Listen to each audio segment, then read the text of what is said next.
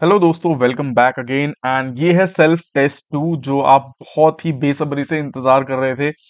Self test one जिसने भी नहीं दिया है, फटाफट से लिंक डिस्क्रिप्शन में है। आप दे दो सेल्फ टेस्ट वन को, क्योंकि वो बहुत ज़्यादा इंपॉर्टेंट रोल प्ले करेगा, जो आपका जो पार्ट ए है उसमें। ये पार्ट बी है, उसके बारे में बात करेंगे, जो आपकी चार यूनिट्स हैं। ठीक है, वहाँ के जो एमसीक्यू प्रैक्टिस क्वेश्चन है, वो है ये। ठीक है, ये जो क्वेश्चन है, बहुत ज़्यादा इंपॉर्टेंट रोल प्ले करेंगे आपकी प्रिपरेशन में। सो so, जिसने भी पहले मैं आपको रिकमेंड करूँगा जिसने भी पहले की जो वीडियोस हैं जिसमें मैंने एक्सप्लेन की है सारी चीज़ें वो अगर नहीं देखी है unit one two three four की लिंक डिस्क्रिप्शन में है फटाफट से देख लो। उसके बाद सेल्फ टेस्ट वन करना और उसके बाद सेल्फ टेस्ट टू करना ठीक है? तब आपको फ़ायदा लगेगा इन वीडियोस का। अदरवाइज़ यहाँ पे हम ज़्यादा चीज़ें डिस्कस करेंगे नहीं क्योंकि ये क्या है? बेसिकली एक प्रैक्टिस वीडियो है ओके सो so, अगर चैनल को सब्सक्राइब नहीं किया है तो कर लीजिए बिकॉज़ आ, अपने जो चैनल की ग्रोथ है आप लोगों के सपोर्ट की वजह से बहुत बढ़िया चल रही है। सुबह ही मैंने 1700 का जो टारगेट था वो कंप्लीट किया था। मतलब मैंने क्या हम लोगों ने ठीक है और नाउ 1820 हमारा जो नेक्स्ट टारगेट है वो 2000 का है ठीक है। Soon we will complete it I know that आप लोग सपोर्ट करोगे and I am also supporting you all right तो 16 फेब को एग्ज़ाम है, बिना कोई टाइम वेस्ट किए हम आज की वीडियो स्टार्ट करते हैं। ओके तो फटाफट से आपको पता है पेन एंड पेपर लेना है, फटाफट से पेन पेपर लेके बैठ जाइए। और सेम वही काम करना है जो सेल्फ टेस्ट वन में किया था। मैं क्वेश्चन बोलूँगा एक्सप्लेन करूँगा। आप पाँच सेकेंड या फिर उसका हॉल्ट लेके वीडियो को पॉज करके अपना आंसर मार्क करेंगे और फिर हम फिर आगे बढ़ेंगे ओके और जैसे ही आपके मार्क्स कंप्लीट हो जाएँगे मतलब पूरा जो वीडियो कंप्लीट हो जाएगा, उसके बाद अपने मार्क्स आप कमेंट्स में अपलोड करेंगे, ठीक है? और जिसके भी मार्क्स जो सेल्फ टेस्ट वन में है, वो 25 से नीचे हैं, थोड़ा सा पढ़ने की ज़रूरत है। जो भी पीडीएफ में है, मुझे पता है बहुत सारे marks information and communication technology में कटे हैं। ठीक है? बहुत सारे बच्चों के। जितने भी क्वेश्चन गलत हुए ना, उसी में हुए हैं। तो उस यूनिट को पीडीएफ से पढ़ लो। मोर देन इनफ है। इतना ही पढ़ने की ज़रूरत है बस। ठीक है? ओके चलो। पहला जो क्वेश्चन है आज का, वो है एक सेकेंड मैं पेन निकाल लेता हूँ। ओके तो पहला जो क्वेश्चन है, वो आज का है चलो। Which of the following is the example of code of conduct Which of the following is the example of code of conduct of physical activity facilitator? मैंने वीडियो में डिस्कस किया था कोड ऑफ़ कंडक्ट क्या होता है? Set of rules होते हैं ठीक है? किसके? जो आपका जो फ़िज़िकल पीटी टीचर होता है उसके। तो देखो सबसे पहले कंडक्टिंग असेंबली क्या ये असेंबली कंडक्ट कराना ये रूल्स में है उसके? ओके okay, देखते हैं चलो। Create an environment for learning learning के लिए इन्वायरमेंट क्रिएट करना okay conducting extramural programme conducting intramural programme अब यहाँ पे इस क्वेश्चन को समझने के लिए आपको पता होना चाहिए एक्स्ट्रा म्यूरल प्रोग्राम क्या होता है और इंट्रा म्यूरल प्रोग्राम क्या होता है, ठीक है? तो वो वीडियोस में एक्सप्लेन किया था मैंने। एक्स्ट्रा म्यूरल मतलब कंपटीशन जहाँ पे होता है, ठीक है? और तीन गेम्स में जहाँ कंपटीशन होगा दैट इज़ एक्स्ट्रा म्यूरल ठीक है? और इंट्रा म्यूरल और वो भी स्टेट के बाहर।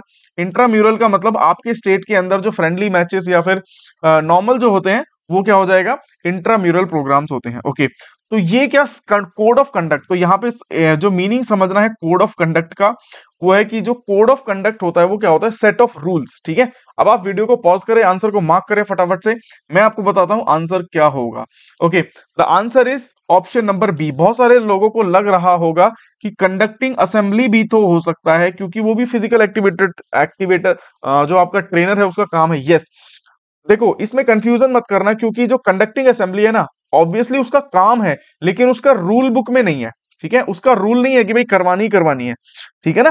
तो यहाँ पे क्या होगा? क्रिएट इन्वायरमेंट फॉर लर्निंग उसका जो मेन काम है वो क्या है?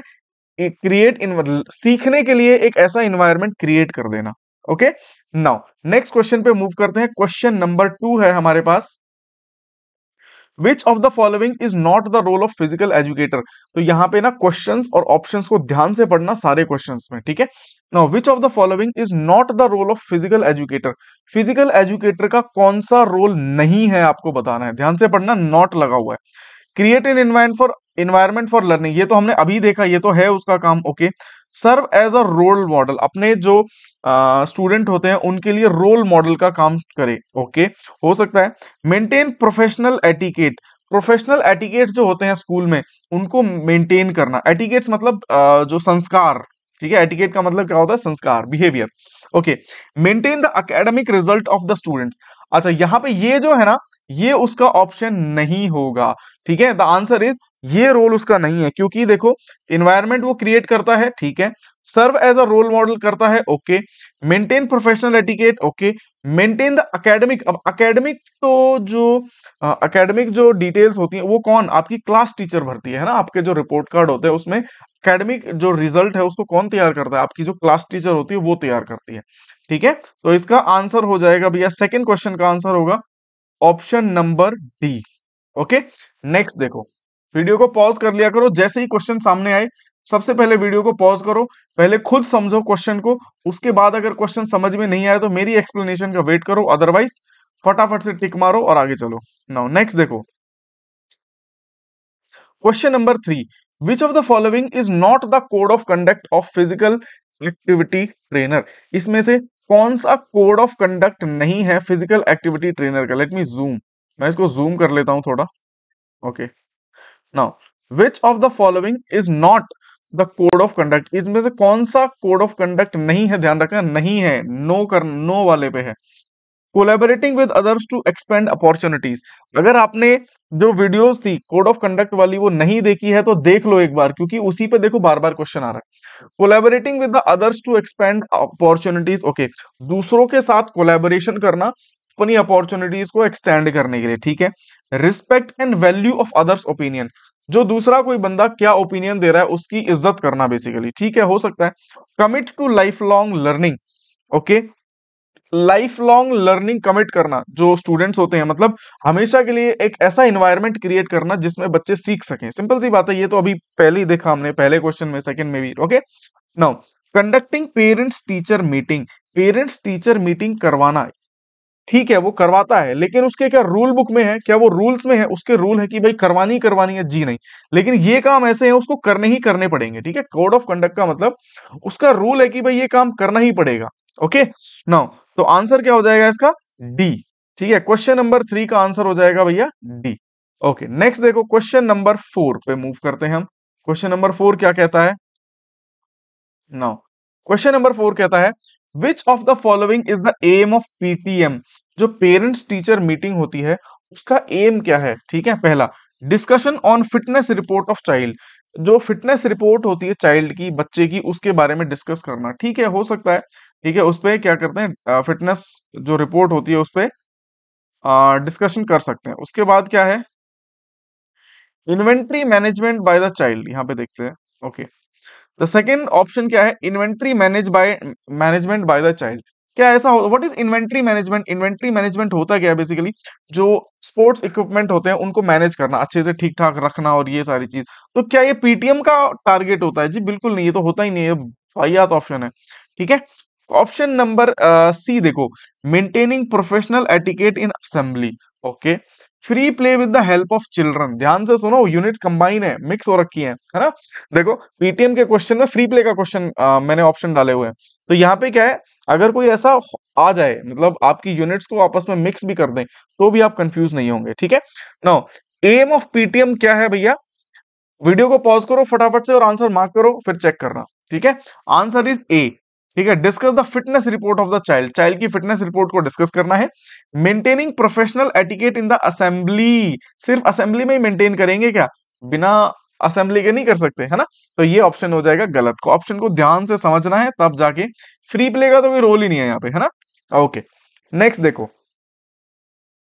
Question number five important question है। इस टाइप का एक आध क्वेश्चन झटका मारेगा आपको, मुझे पता है।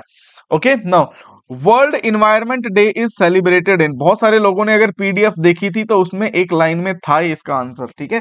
तो जिसने भी पीडीएफ या फिर वीडियो नहीं देखी है, फटाफट से जाके सीख लो पहले कुछ, ओके? उसके बाद आना इस वीडियो पे। नाउ देखो, world environment day is celebrated on पाँच जुलाई, पाँच अगस्त, पच्चीस फरवरी, पाँच जून। The answer is five June, ठीक है? ओके नेक्स्ट देखो नेक्स्ट है which of the following which of the following is the example of gymnastics इनमें से कौन सा ऐसा एग्ज़ाम्पल है जो जिम्नास्टिक्स का है? पहला diving okay parallel bars okay trekking judo फटाफट से इसको पॉज करो आंसर मार्क करो, फिर आगे चलो. डाइविंग डाइविंग क्या होता है भैया? डाइविंग सबको पता है क्या होता है डाइविंग पानी में छलांग लगाना, है ना? उसके बाद तो क्या ये जिम्नास्टिक है? बिल्कुल नहीं. ये तो एक्वेटिक्स वाली उसमें आ जाएगा. Okay parallel bars parallel bars क्या होती हैं? जी हाँ this is the answer answer number B trekking नहीं जूडो भी नहीं। आपको पता है जूडो और ट्रैकिंग क्या होती है। तो जिम्नास्टिक्स मतलब जहाँ पे जो जो मैट होता है, उसके ऊपर कोई काम हो रहा है तो। ओके नाउ नेक्स्ट देखो। Chess is the example of chess is the example of chess किस चीज़ का एग्ज़ाम्पल है? क्या चेस एक टीम गेम है? ओके क्या ट्रेडिशनल एक्सरसाइज है? ओके क्या माइनर गेम है? नहीं पता। या फिर एक्वेटिक्स है? ओके तो एक्वेटिक्स तो पानी होता है, सबको पता है, जो पानी से रिलेटेड तो क्या चेस पानी है या पानी में खेलते हैं? बिल्कुल गलत। ठीक है तो ये तो बिल्कुल ही वाहियात ऑप्शन है, पता नहीं कैसे डाल दिया मैंने।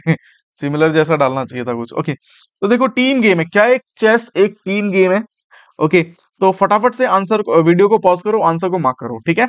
नाउ क्या चेस एक टीम गेम है? अब कुछ सोचेंगे दो लोग। बैठ के टीम तो बन गई, है ना? जी नहीं। आपस में जब सामने एक दूसरे के बैठे हो तो टीम नहीं, वो क्या है? वो राइवल्स होते हैं भाई तो ये टीम गेम तो है नहीं। क्या ये ट्रेडिशनल एक्सरसाइज है? क्या ये बहुत पुरानी एक्सरसाइज है?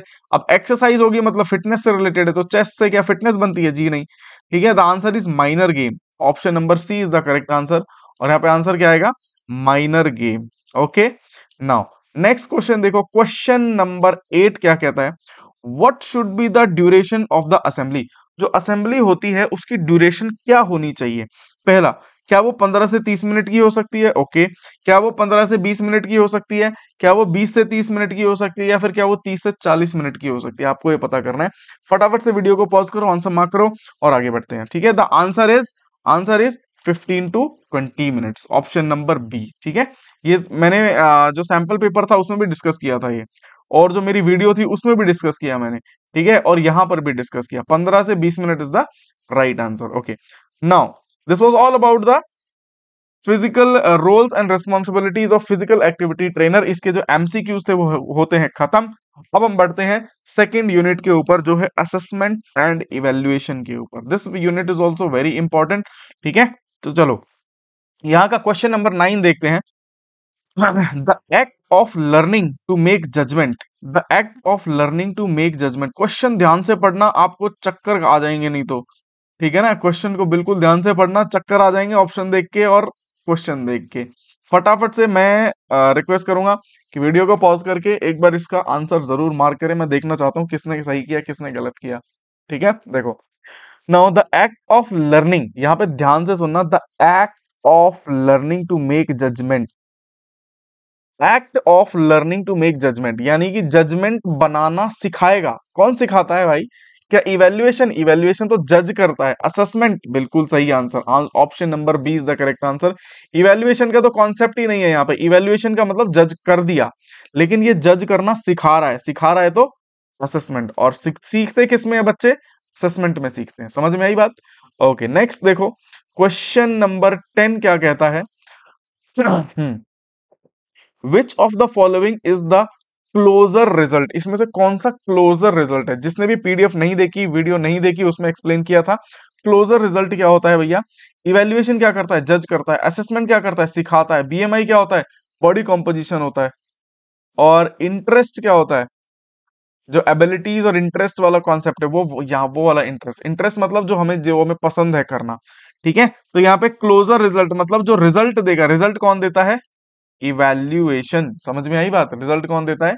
इवेल्युएशन ओके नेक्स्ट क्वेश्चन देखो. Question number eleven okay evaluation focus on eleven जो इवेल्युएशन होता है, वो किस पे फोकस करता है? सबको पता होगा, मेरे हिसाब से तो जिसने भी देखी होगी वीडियोस लर्निंग पे नहीं लर्निंग पे कौन फोकस करता है? असेसमेंट रिकॉर्डिंग मतलब जो जो रिकॉर्ड्स होते हैं, उनको रखना, बिल्कुल नहीं। वो तो इन्वेंट्री टाइप का एक सब्जेक्ट हो गया।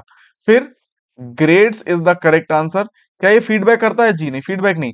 ठीक है, ये तो आपकी कमियाँ बताता है। Grades the answer is the grades okay now next question देखो वीडियो फटाफट, जैसे ही मैं क्वेश्चन बोलू वीडियो अपने आप पॉज कर लिया करो। मैं कभी कभी क्या होता है, सीधा आंसर बोल देता हूँ टाइम समझ में नहीं आता मतलब पता नहीं चलता। और वीडियो फिर मैं कोशिश करता हूँ ज़्यादा लंबी भी ना बने, क्योंकि एग्ज़ाम टाइम है, आपका भी टाइम कम वेस्ट हो। देखो next question number twelve which of the following is the most important for enhancing assessment इनमें से सबसे इंपॉर्टेंट चीज़ क्या है असेसमेंट को एनहांस करने के लिए? इसका मतलब असेसमेंट को और भी ज़्यादा स्ट्रॉन्ग करने के लिए, और भी ज़्यादा अच्छे से सीखने के लिए सबसे ज़्यादा इंपॉर्टेंट चीज़ क्या है? ऑप्शन देखो। Participating of teacher only okay participating of student only ठीक है? Planning by teacher okay planning by student ध्यान से, फटाफट से आंसर को मार्क करो, ध्यान से करना ऑप्शन ध्यान से पढ़ना वीडियो पॉज करो ऑप्शन ध्यान से पढ़ो क्वेश्चन ध्यान से पढ़ो। मज़ेदार क्वेश्चन है। ठीक है? इसमें बहुत सारे कंफ्यूज होंगे, मुझे पता है। ओके इसीलिए ऐसे ऑप्शंस डाले जाते हैं। Okay the answer is the answer is planning by teacher अब ये क्यों है, इसका रीजन मैं बताता हूँ। देखो, ध्यान से सुनो। इसका कारण ये है, भैया कि पार्टिसिपेटिंग बाय द टीचर देखो क्वेश्चन क्या है? एनहांस करना है हमें। एनहांस मतलब असेसमेंट को और ज़्यादा सुधारना है ठीक है? Okay participating of teacher only अगर सिर्फ़ टीचर पार्टिसिपेट करेगा मतलब इस आ, किसी भी चीज़ के अंदर अगर सिर्फ़ टीचर पार्टिसिपेट कर रहा है और स्टूडेंट अब ओनली लिख दिया तो मतलब स्टूडेंट नहीं है। है ना? स्टूडेंट नहीं है तो क्या फ़ायदा उस असेसमेंट का? कोई फ़ायदा नहीं है। असेसमेंट एनहांस होगा नहीं। फिर पार्टिसिपेटिंग ऑफ़ स्टूडेंट ओनली अब यहाँ पे स्टूडेंट है तो टीचर नहीं है तो ये वैसे ही गलत हो गया। ठीक है? प्लानिंग बाय द टीचर बिल्कुल सही।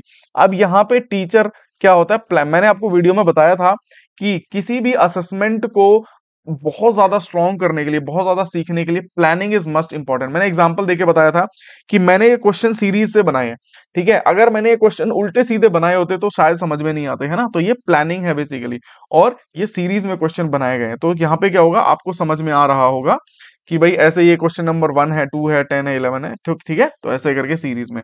The answer is planning by a teacher अच्छा प्लानिंग बाय स्टूडेंट क्यों नहीं है? एक बात बताओ असेसमेंट करवाता कौन है? टीचर स्टूडेंट थोड़ी करवाता है। तो आंसर यहाँ पे स्टूडेंट कितना ही प्लान कर ले तो चलनी तो टीचर की है है ना? आप चाहे कितना ही कुछ भी कर लो, चलाऊँगा तो मैं ही अपनी, है ना? तो ये ये क्या हो जाएगा? क्वेश्चन नंबर ट्वेल्व का answer the answer is planning by teacher okay next question देखते हैं हम। Question number thirteen question number thirteen क्या कहता है? देखो if the weight of how मज़ेदार क्वेश्चन है। ध्यान से करना गलत मत करना। ये वीडियो, अब ये जो क्वेश्चन है, आपको टाइम लगेगा इसमें, ठीक है? फटाफट से वीडियो को पॉज कर दो एक बार। उसके बाद कैलकुलेटर का इस्तेमाल मत करना। बिना कैलकुलेटर के इस्तेमाल किए, ईमानदारी से इस क्वेश्चन को कीजिए, ठीक है? हो सकता है ऐसा क्वेश्चन आपसे पूछ ले। If the weight of Raghav is 65 KG and the height is 151 centimetre what will be the body composition of the Raghav ये बीएमआई के फॉर्मूले पे क्वेश्चन है भैया। बीएमआई का फॉर्मूला आपको याद होना चाहिए। फॉर योर काइंड इन्फॉर्मेशन मैं बता देता हूँ कि B M I is equals to weight in KG ठीक है वेट किसमें लिखना है हमें? केजी में लिखना है और डिवाइडेड बाय हाइट किसमें लेनी है? स्क्वायर में। लेकिन वो भी क्या होना चाहिए भैया? मीटर के अंदर हाइट होनी चाहिए। ध्यान रखना। अब यहाँ पे 151 सेंटीमीटर है, पहले इसको मीटर में कन्वर्ट करेंगे, उसके बाद आंसर लिखाएँगे, ठीक है? आई होप वीडियो पॉज कर ली होगी तो मैं आंसर आपको बता देता हूँ, आंसर होगा इसका ओवर वेट है भैया वो, क्योंकि इसका आंसर कुछ 28 पॉइंट समथिंग कुछ आएगा। मैंने जो निकाला था 28 पॉइंट समथिंग कुछ आएगा the answer will be the overweight इसका आंसर क्या आएगा? ओवर वेट आएगा ओके तो भैया कौन है वो? आ, कौन था राघव। राघव जी को दौड़ने की ज़रूरत है। चलो नेक्स्ट देखो। Which of the following is the example of skill based fitness तो हमें ये पता लगाना है कि कौन सा एक एग्ज़ाम्पल है जो स्किल बेस्ड फिटनेस पे है। ओके देखो ऑप्शन फटाफट से पॉज करो ठीक है? उसके बाद आंसर मार्क करो। Aerobic capacity body composition running anaerobic ठीक है? देखो एरोबिक कैपेसिटी हो गई बॉडी कॉम्पोजिशन हो गया और एनएरोबिक हो गया। ये सारे क्या है भैया? ये हेल्थ रिलेटेड है, ठीक है? ये क्या है? हेल्थ रिलेटेड है ये तीनों। बचा क्या? रनिंग तो ये रनिंग किसके बेसिस पे हो गया? फिटनेस उसके स्किल बेस के ऊपर, ठीक है? कोई कितना तेज दौड़ सकता है ये उसकी स्किल के ऊपर डिपेंड करेगा ओके तो इसका आंसर क्या हो जाएगा? इसका आंसर हो जाएगा क्वेश्चन नंबर फोर्टीन का आंसर होगा सी ओके नेक्स्ट देखो। Skill related fitness is based on, अब जो स्किल रिलेटेड फिटनेस होती है, वो किसके ऊपर काम करती है, किसके ऊपर बेस्ड होती है? ध्यान से सुनो, क्या वो रनिंग के ऊपर बेस्ड होती है? नहीं। क्या वो एक्शन के ऊपर बेस्ड होती है? नहीं। क्या वो बैलेंस के ऊपर बेस्ड होती है? नहीं। द आंसर इज़ न्यूरॉन्स, क्योंकि वो क्या होता है, भाई रनिंग, एक्शन और बैलेंस, ये तो टाइप है, किसके? स्किल रिलेटेड के। तो जो स्किल रिलेटेड फिटनेस है, उसके टाइप है ये, ओके? जो न्यूरॉन्स होंगे न्यूरॉन्स क्या होंगे? हमारे न्यूरॉन्स की वजह से ही स्किल रिलेटेड फिटनेस होती है। न्यूरॉन्स की वजह से ही क्या होगा? स्किल रिलेटेड फिटनेस होगा। बहुत सारे लोगों को लग रहा होगा, इसमें क्या आंसर दें? क्योंकि रनिंग भी एक फिटनेस स्किल रिलेटेड है। एक्शन भी स्किल रिलेटेड है बैलेंस भी स्किल लेकिन हमने बोला है कि ये किसके ऊपर डिपेंड करती है? ये डिपेंड करती है न्यूरॉन्स के ऊपर स्किल रिलेटेड फिटनेस ठीक है? और ये तो क्या है? रनिंग एक्शन और बैलेंस ये एक टाइप है। किसके? स्किल रिलेटेड फिटनेस के टाइप हैं। तो इसमें कंफ्यूज मत होना, ठीक है? इस, इसलिए ये क्वेश्चन बनाया गया है। ओके नेक्स्ट देखो क्वेश्चन नंबर 15 क्या कहता है? जी सॉरी 16 क्वेश्चन नंबर 16 क्या कहता है? Which of the following is not the example of health related fitness simple सी बात है। इनमें से आपको बताना है कि हेल्थ रिलेटेड फिटनेस का एग्ज़ाम्पल कौन सा नहीं है। क्वेश्चन ध्यान से पढ़ना। हेल्थ रिलेटेड फिटनेस का एग्ज़ाम्पल कौन सा नहीं है? तो स्ट्रेंथ है flexibility coordination high blood pressure video pause करो आंसर मार्क करो, फटाफट से। The answer is coordination the answer is coordination health related fitness मैंने डिस्कस किया था एरोबिक एनएरोबिक स्ट्रेंथ फ्लेक्सिबिलिटी और हाई ब्लड प्रेशर कुछ नहीं है बॉडी कॉम्पोजिशन ही है एक टाइप से। मतलब जो एनएरोबिक जिसको बोलते हैं ना sorry aerobic aerobic this is aerobic high blood pressure और एनएरोबिक क्या होता है? लो ब्लड प्रेशर ठीक है? Low BP okay now next देखते हैं, और ये क्या है?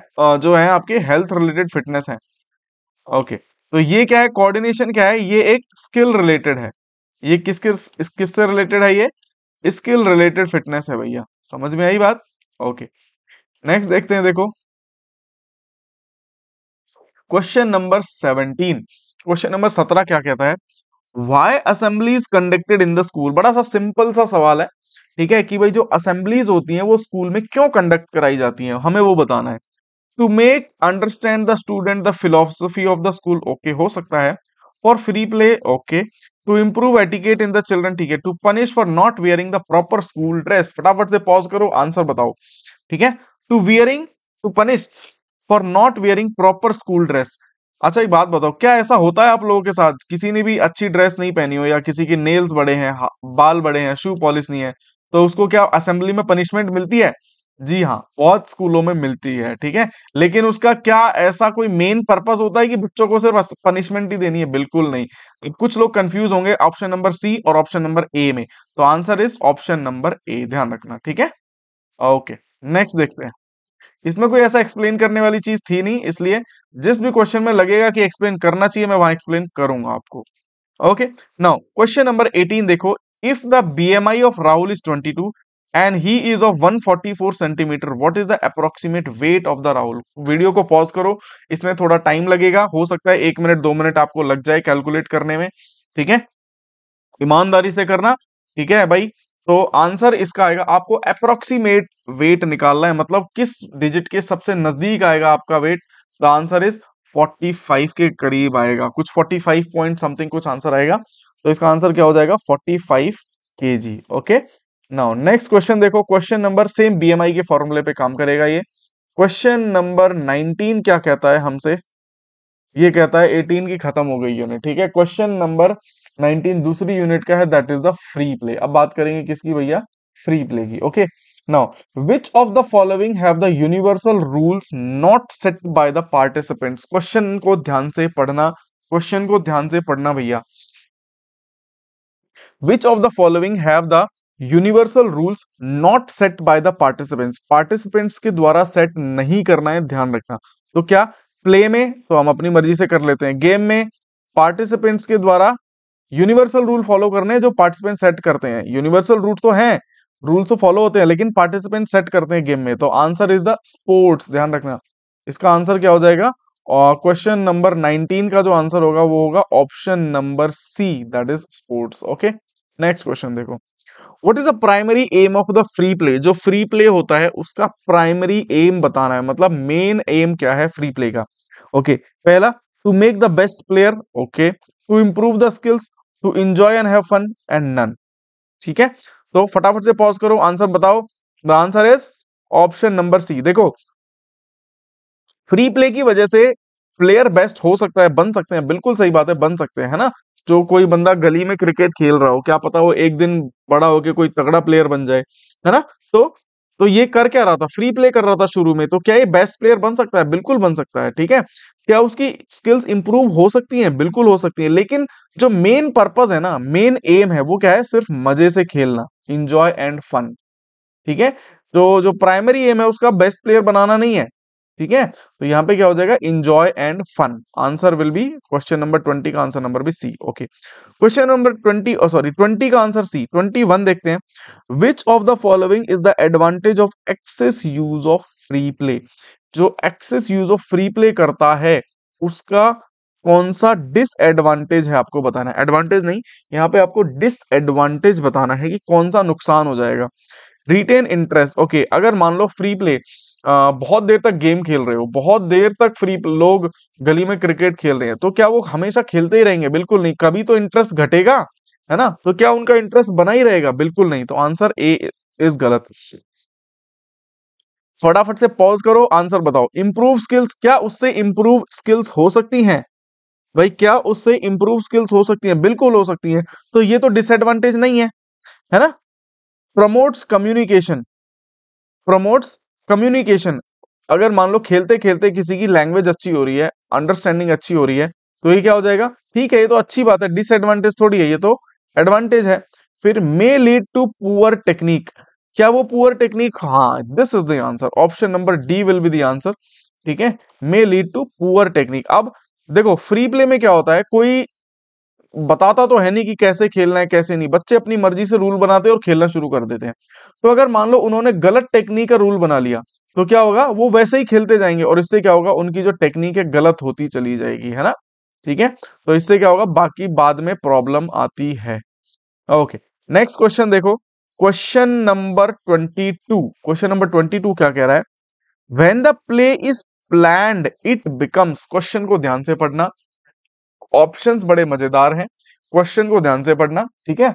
When the play is plan जब हम एक प्ले को प्लान कर देते हैं तो क्या होता है? देखो, क्या वो अनस्ट्रक अनस्ट्रक्चर होता है? ओके क्या वो स्ट्रक्चर होता है? Play can never become structure play is always unstructure question को ध्यान से समझना ऑप्शन को ध्यान से समझना, ठीक है? दिमाग लगाने की बारी अब आएगी धीरे धीरे ओके नाउ नेक्स्ट देखो, यहाँ पे इसका आंसर होगा क्या? स्ट्रक्चर्ड सिंपल सी बात है। इसका आंसर क्या होगा? स्ट्रक्चर्ड अब ये अनस्ट्रक्चर्ड और प्ले कैसे हो, नहीं हो सकते, वो बताते हैं। देखो play can never become structured ये स्टेटमेंट कह रही है कि जो बच्चे जो खेलते हो, खेलते हैं, वो कभी स्ट्रक्चर हो ही नहीं सकते। बिल्कुल गलत। अगर हम उसको प्लानिंग के हिसाब से सेट कर दे तो स्ट्रक्चर बन जाएगा। है ना? Okay play is always unstructured जो प्ले होता है, वो हमेशा अनस्ट्रक्चर्ड अनस्ट्रक्चर्ड होता है। नहीं भैया। ऐसा नहीं है। प्ले हमेशा अनस्ट्रक्चर्ड नहीं होता, ठीक है? जनरली होता है बट हमेशा नहीं होता। अगर मान लो कोई शुरुआत ही प्लान करके करे तो स्ट्रक्चर्ड हो गया सिंपल सी बात है है ना? Okay now why adult supervision is required in free play इसका आंसर सी था भाई सॉरी बी था, ठीक है? ध्यान रखना। क्वेश्चन नंबर ट्वेंटी टू का आंसर है B okay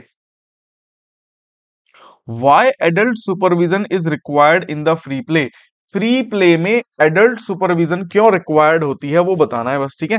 Because free play may lead to better skills अब भाई, अगर मान लो किसी की पॉज कर लेना पहले और फिर आंसर बताना। Because free play may lead to better skills अब ये बताओ, अगर फ्री प्ले में बेटर स्किल्स हो रही है तो नुकसान है या फ़ायदा है? ये तो फ़ायदा है ना?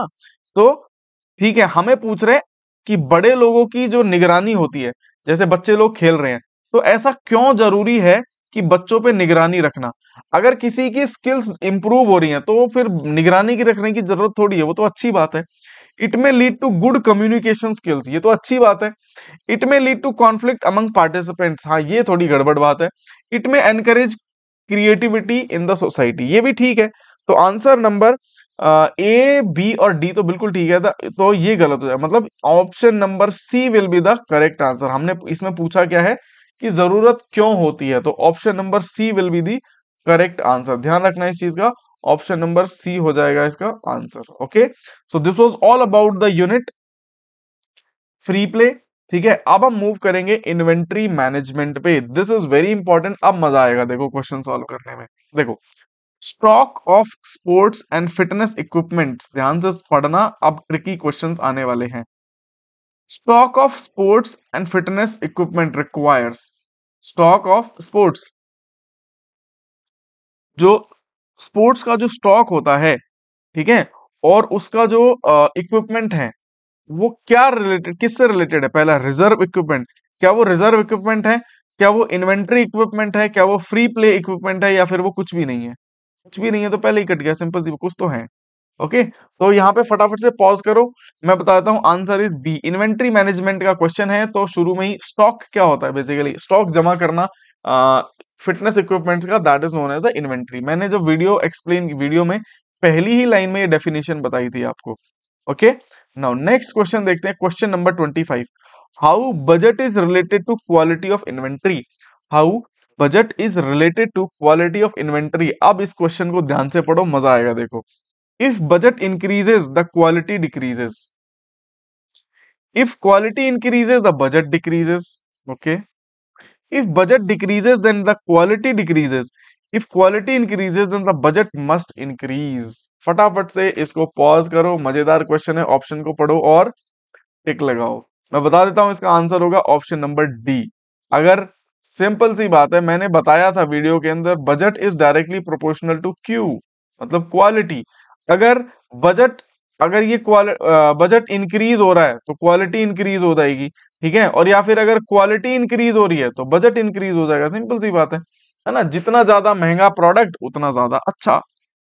मतलब उसकी जो क्वालिटी है, उतनी ज़्यादा अच्छी हो जाएगी। ओके नेक्स्ट देखो नेक्स्ट जो है क्वेश्चन नंबर ट्वेंटी सिक्स क्या कहता है? For which purpose the following equipment is use किस पर्पज के लिए ये इक्विपमेंट का हम इस्तेमाल करते हैं। ये आपको एक इक्विपमेंट दे रखा है। किस पर्पस के लिए हम इस इक्विपमेंट का इस्तेमाल करते हैं? देखो यहाँ पे ऐसे यू बना हुआ है। ठीक है? ऐसे क्या बना हुआ है? यू बना हुआ है।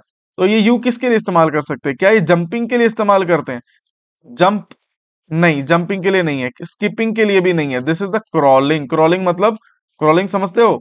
क्रॉलिंग मतलब लेट के चलना। तो इसके अंदर से क्या करेंगे? कोई भी एक फॉर एग्ज़ाम्पल लेट से ये एक सांप है। ये क्या कर रहा है? इसके अंदर से क्रॉलिंग होते हुए आ रहा है।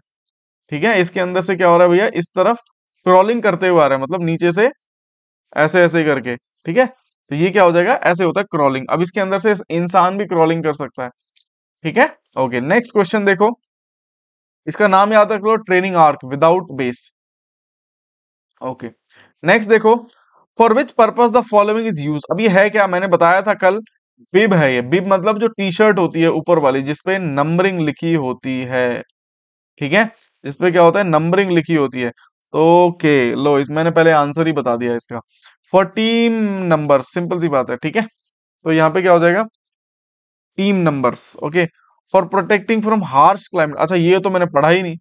For protecting from the harsh climate क्या ऐसा हो सकता है? जो बिब होता है बिब का मतलब क्या होता है? उसमें नंबर लिखा होता है। जी नहीं। आंसर इसका ए ही होगा, ठीक है? हार्श क्लाइमेट से बचाने के लिए बिब नहीं होता, ठीक है? बिब का मतलब ऐसी ऊपर की जो कवरिंग होती है जिसपे प्लेयर्स के नंबर लिखे होते हैं। आपने देखा होगा, जैसे धोनी का सात नंबर लिखा होता है। तो क्या है, उसका बिब है वो, ठीक है? बिब के ऊपर लिखा हुआ है। ओके, नेक्स्ट देखो, क्वेश्चन नंबर ट्वेंटी एट क्या कहता है? Which of the important factor needed to keep in mind while selecting sports equipment sports equipment को जब हम सेलेक्ट करते हैं तो कौन कौन सी चीज़ें हमें ध्यान में रखनी चाहिए? क्या हमें एज अप्रोप्रिएशन ध्यान में रखनी चाहिए कि भाई किस एज, किस बच्चे के लिए किस एज का स्पोर्ट्स इक्विपमेंट चाहिए? बिल्कुल सही है, हमें याद ध्यान में रखनी चाहिए। पॉज करो, फटाफट से मार्क करो। क्या वो बजट हो सकता है? जी बिल्कुल, क्वालिटी का भी ध्यान रखना है। क्या वो इंफ्रास्ट्रक्चर के हिसाब से लाना है? मान लो, आपके स्कूल में बास्केटबॉल का कोर्ट है ही नहीं, आप, और आप उठा के ले आए बास्केटबॉल तो इंफ्रास्ट्रक्चर तो है ही नहीं, लेकिन फिर भी लिया है तो यहाँ पे क्या होगा? स्पोर्ट्स इक्विपमेंट सिलेक्शन गलत हो जाएगा हमारा, ठीक है? The answer is the all of both हमें इंफ्रास्ट्रक्चर का भी ध्यान रखना पड़ेगा बजट का भी क्वालिटी का भी ध्यान रखना पड़ेगा और एज अप्रोप्रिएशन का भी ध्यान रखना पड़ेगा। समझ में आई बात? Okay now let's move to the next question that is question number twenty nine okay which of the following which of the following equipment is use अब ये किस पर्पज के लिए यूज़ होता है? देखो, आपने देखा होगा ये। स्टेप हर्डल है। नाम ही सब समझ में आ गया स्टेप हर्डल क्रॉलिंग क्रॉलिंग के लिए तो ऊपर देखा था अभी। लिफ्टिंग क्या इसकी, क्या ये जिम की तरह उठा के लिफ्टिंग के लिए? नहीं, क्या ये जंपिंग के लिए हो सकता है? हो सकता है। क्या ये पुशिंग क्या ये धक्का देने के लिए? बिल्कुल नहीं। द आंसर इज़ ये जंपिंग के लिए इस्तेमाल होता है भाई। ठीक है?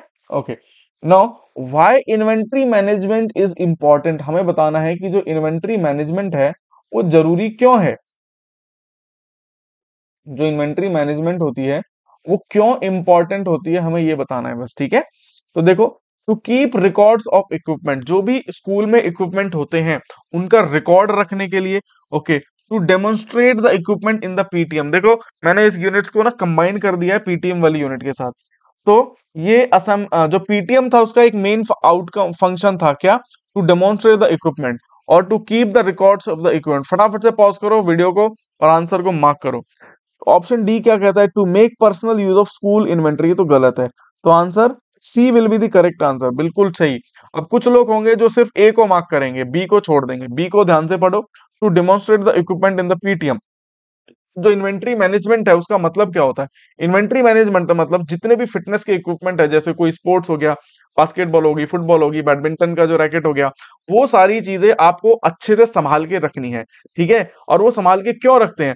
ताकि एक तो उसका रिकॉर्ड रख सकें कि भाई इतने हैं हमारे पास, इतने फुटबॉल हैं, इतने बास्केटबॉल उसके बाद दूसरा होता है, हम पेरेंट्स को दिखा सकें कि देखो हमारे पास ये ये स्पोर्ट्स हैं, आप अपने बच्चे का एडमिशन हमारे स्कूल में करवा दो, ठीक है? तो ऐसी चीज़ें होती हैं। जो प्राइवेट स्कूल्स होते हैं ना, ये करते हैं इस काम को, ओके? वो बहुत सारी फैसिलिटीज़ दिखाते हैं कि हमारे स्कूल में ये भी होता है, ये भी होता है, ये होता होता कुछ नहीं है, वो मुझे पता है है ना? लेकिन फिर भी क्या होता है, सिर्फ़ बच्चों के पेरेंट्स को अट्रैक्ट करने के लिए क्या करते हैं वो लोग? बहुत सारी चीज़ें दिखाते हैं okay so this was all about the self test two I hope आपने अपने जो मार्क्स है वो नोट किए होंगे, कितने आए, कितने नहीं। फटाफट से मुझे कमेंट में बताइए कितने आए हैं आप अपने मार्क्स ठीक है? और जितने भी आपके दोस्त हैं, सबको ये चैनल फटाफट से जो वीडियोस हैं वो सेंड कर दो, क्योंकि परसों एग्ज़ाम है तो थोड़ा सा अब क्या करना है भैया? जितनी अच्छा जितनी भी वीडियोस है ना, वो सारी देख लो, जिसको, जिसने नहीं देखी है, फटाफट से देख लो। और बहुत सारे बच्चे कंफ्यूज हैं, कहाँ से क्या तैयारी करना है, क्या नहीं करनी मैं आपको सिंपल सी एक लैंग्वेज में बता रहा हूँ। आपने अगर मेरी वीडियोस और पीडीएफ कर ली मोर देन इनफ इससे बाहर कुछ करने की ज़रूरत नहीं है, क्योंकि हमने सब कुछ कवर कर लिया है। ठीक है? कुछ भी हमने नहीं छोड़ा है। और जो बच्चे बोल रहे थे कि रिपोर्ट्स बनानी है वो वो मैंने सैंपल पेपर टू जो वीडियो अपलोड करी थी, उसके एंड में देखना, यही दो क्वेश्चन मैंने, सब्जेक्टिव क्वेश्चन जो थे, वो डिस्कस किए हैं, ठीक है? सो, उनको आप फटाफट से चेक करें, उनको देखें, ठीक है? उसके बाद आप वो रिपोर्ट कार्ड बनाना या जो भी था वो वो सीख जाएँगे, ठीक है? ओके। चलो, ठीक है, आज के लिए बस इतना ही। चैनल को सब्सक्राइब कीजिए, ठीक है? एंड फटाफट से शेयर कीजिए और अपने मार्क्स कमेंट्स के अंदर। Okay. Thank you so much and stay updated. Best of luck.